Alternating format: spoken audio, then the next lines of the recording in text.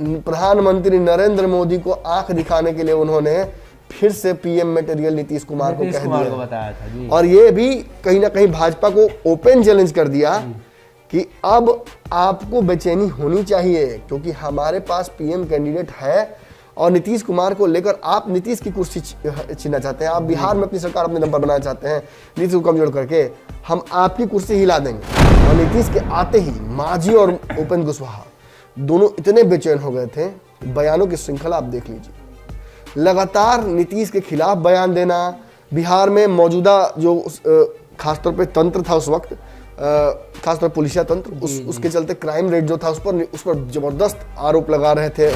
क्योंकि भाजपा नीतीश को बार बार बार बार बार बार परेशान कर रही है। चुनाव में नि- ये उपेंद्र कुशवाहा चूँकि साथ नहीं थे तो वो बेहतर समझ सकते हैं कि किस तरीके से भाजपा ने अलग अलग सीटों पर कमज़ोर किया उन्हें बंगाल के चुनाव के बाद तुरंत एक ट्वीट करके, जहाँ भाजपा रिकवरी मोड में चली गई डैमेज बहुत तगड़ा हुआ भाजपा का कंट्रोल में भाजपा चली गई, वहीं सभी चुप थे। सभी इसको एनालाइज कर रहे थे। दोस्त, दुश्मन सब। लेकिन इतनी हड़बड़ी उपेंद्र कुशवाहा को उन्होंने चक्रव्यूह टूटने से कंपेयर कर दिया और ये कह दिया कि ये चक्रव्यूह टूट गया है ये आने वाले समय के लिए एक नाजीर पेश करेगा। जी।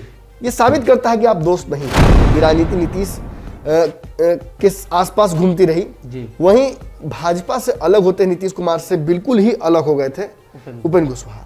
और उपेंद्र कुशवाहा भाजपा से गठबंधन करके केंद्र में मंत्री तक बने हुए थे। और केंद्र मंत्री से उन्होंने इस्तीफा दिया था 2018 में। जी। क्यों दिया था आपको पता है? आपको याद होगा उपेंद्र कुशवाहा इतने नाराज़ हुए और उन्होंने सोशल मीडिया का रुख करके नाम बिना लिए हुए सीधे तौर पर हमला कर दिया संजय जायसवाल पर। जी जी। और वो परिस्थिति ऐसी बन गई कि लगा कि उस उस लॉकडाउन में ही गठबंधन टूट जाएगा। जी। फिर आरोप प्रत्यारोप इतना चला कि अंततः सम्राट चौधरी भाजपा की तरफ़ से आगे आते हैं जो कि इसी बिरादरी से आते हैं। जी। और भाजपा उन्हें आगे करती है और इशारा करती है कहीं ना कहीं कि वो उपेंद्र कुशवाहा को रत्ती भर भी भाव नहीं देती। इस दौरान उपेंद्र कुशवाहा का रडार चेंज हो गया। जी। क्योंकि अब वो जदयू के महत्वपूर्ण पदों पर आ गए जी जी।